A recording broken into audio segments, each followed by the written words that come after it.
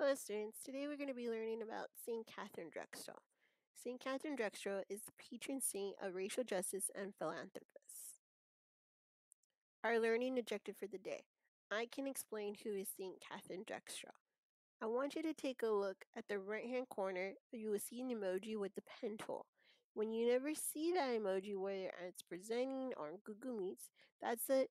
That's to indicate that you need to write this down in your notebook.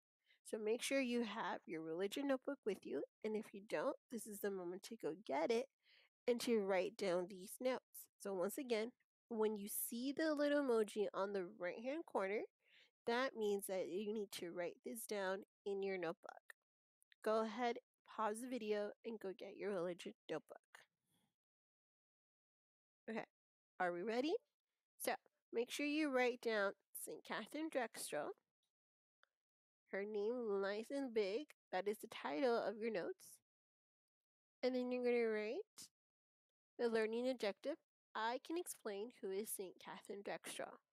Repeat it after me. I can explain who is St. Katharine Drexel. So we're going to talk about a little bit about her life today.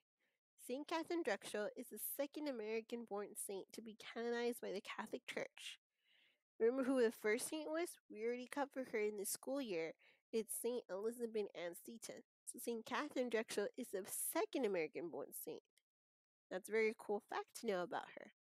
Also, Katharine was born in Philadelphia on November 26, 1858. Her father was a prominent and wealthy banker. Both Katharine and Louisa, her sister, received a wonderful education with private tutors throughout the United States and Europe. The family were very devoted in practicing their faith. As you can see, there is an emoji pen tool with it. So make sure you write down these notes in your notebook right underneath your learning objective. If you need to pause the video, go ahead to make sure you write down all your notes. Next, we'll continue about St. Katharine Drexel. After Katharine's parents passed away, she felt very anxious about her fortune. She traveled Europe and had a private viewing with Pope Leo XIII. Pope Leo asked her to, instead of donating money to charities, she should become a missionary.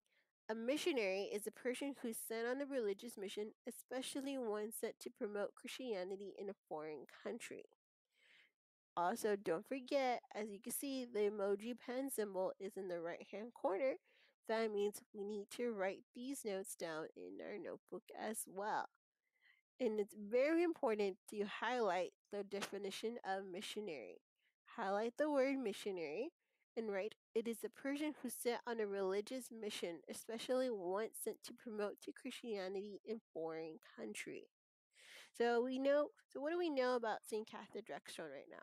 We know that she was born in a wealthy family and her parents were very Catholic and practiced the religion. We know that they were like they like to help others and they would invite them over to their home, have give them food, shelter, whatever they needed. So they were a very generous family. And we know this that when Katharine was older, she wasn't sure what to do. So she went and talked to Pope Leo XII and he asked her, well, what charities do you need for me to donate? I have lots of money. Who can I help out? But Pope Leo was like, no, Katharine, why don't you come and become a missionary? Go out and help people by doing an example instead of just giving money now. So that is exactly what she did. We're to stop here today and we'll continue more tomorrow. If you need to rewind the video to write down your notes, go ahead and pause where you need to. If you need to hear this video again, you may replay it, but make sure you log into Seesaw and complete the assignment for today.